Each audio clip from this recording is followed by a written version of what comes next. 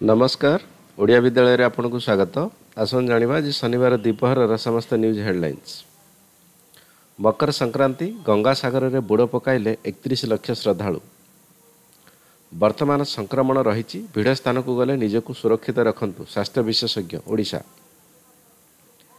କମିବ ଶୀତ ତିନିରୁ ଚାରି ଡିଗ୍ରୀ ବଢ଼ିବ ତାପମାତ୍ରା ସତରରୁ ହାଲକା ବର୍ଷା ହେବାର ସମ୍ଭାବନା।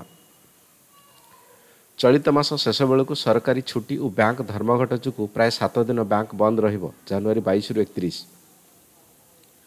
ଓଡ଼ିଶାରେ ଦେଶରେ ପ୍ରଥମ ଷ୍ଟାର୍ଟଅପ୍ ମେଳା। ଶୀତୁଆ ରାତିରେ ଜମିବ ଶିଶିର ସରସ ମେଳା ଝୁମିବ ସାରା ଓଡ଼ିଶା। ସାମାନ୍ୟ ଆଶ୍ୱସ୍ତି କମିଲା ପେଟ୍ରୋଲ ଓ ଡିଜେଲ ଦର।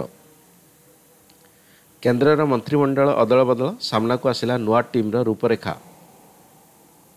ଶଶୀ ଥରୁରଙ୍କ ଦୁଇହଜାର ଚବିଶ ନିର୍ବାଚନ ଭବିଷ୍ୟବାଣୀ ବିଜେପି ପଚାଶଟି ଆସନ ହରାଇପାରେ ପିପିଏଫ୍ ଧାରୀଙ୍କ ମିଳିବ ବଡ଼ ଫାଇଦା ଅଶୀ ସି ନିବେଶ ସୀମା ବୃଦ୍ଧି ଓ ଇନକମ୍ ଟ୍ୟାକ୍ସ ଫ୍ରି ନେଇ ଅର୍ଥମନ୍ତ୍ରୀ କରିପାରନ୍ତି ବଡ଼ ଘୋଷଣା।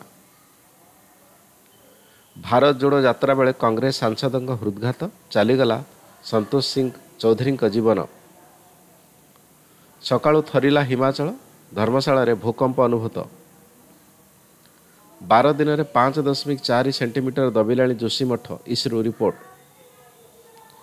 ଏଲନ୍ ମସ୍କଙ୍କ ବଡ଼ ଘୋଷଣା ଆସନ୍ତା ସପ୍ତାହରେ ଟ୍ୱିଟରରେ ଆସିବ ନୂଆ ଫିଚର। ବୈଠକ ମଝିରେ ମନ୍ତ୍ରୀଙ୍କ କ୍ଲାସ୍ ନେଲେ ପୁତିନ କହିଲେ ମୋତେ ମୂର୍ଖ ଭାବନ୍ତୁ ନାହିଁ ଭିଡ଼ିଓ ଭାଇରାଲ।